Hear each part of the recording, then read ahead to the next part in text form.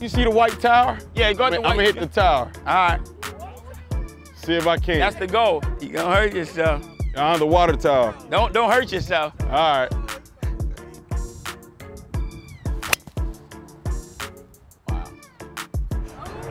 You see it? And then that's gonna hit and travel and roll and keep going and going and going. All right, so let's get into it a little bit.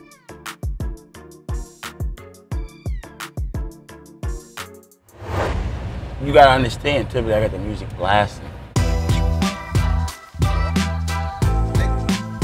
We're on our way to Rock Manor Golf Club, uh, one of the public facilities in the city.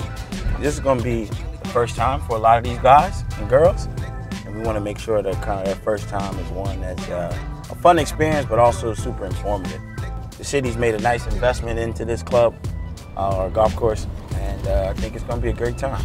golf is a gateway into all of these different individuals from actors to you know professional businessmen to you know just everyday people What's up, baby?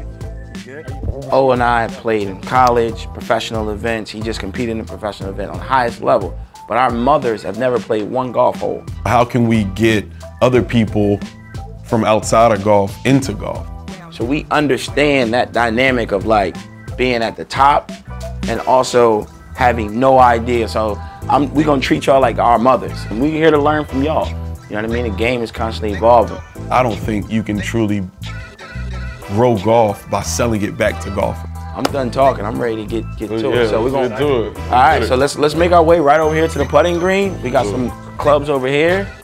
So how do we just bring it all together? First things first is you want to. It's called your stance. You want your feet about shoulder width apart, right? So your feet shoulder width apart, Mm-hmm. right? And then you don't have a ball, but you want that club resting kind of right in between your feet. I mean, we don't force golf on anyone. We don't force Eastside golf on anyone. But if you're here and you want to learn, then we're gonna go above and beyond and give you every tool, every resource possible. So my body's nice and still, and my shoulders moving tick tock, tick tock. When it comes to golf, I mean, it's about representation.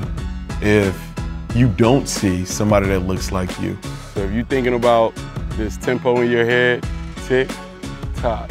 That's how it's supposed to be. or if you don't see a logo, But you can just really just put it to me. how could they ever know that it's possible? Beautiful. Boom! Hey, my boy. There we go. Let's go. So that's why when they see this logo, they find confidence. right? So we're on what you would call the driving range. Again, this is public, open to each and every one of you. The cost of coming to the driving range is not a fee to enter the driving range. It's a fee that you're just paying for the golf balls. We're teaching them how to speak the language. You know, so when they get there, it's a different language, right? How do you know if you get the ball in the in the hole from here? So, well, here's just targets. It's not about getting it in the hole. And I think that's the beauty in it. Like we're touching everyday people that have no idea of golf, but slowly but surely, like just bringing them around it, they'll naturally learn certain things. That's what you want to see. A good, balanced finish. That needs to be more of the mindset of like, yo, let them know this journey is a long one, but it's definitely worth it.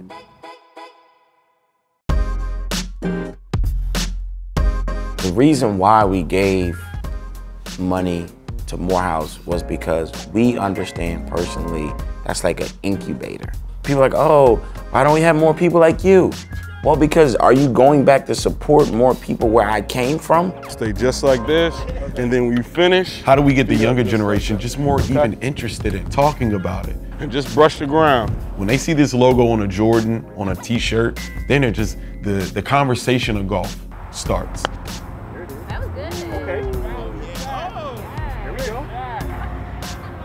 Looking to have these guys that we put the money into to help us. You know, we start focusing on young professionals. Thank you. Appreciate it. Appreciate it. Appreciate it. Yes.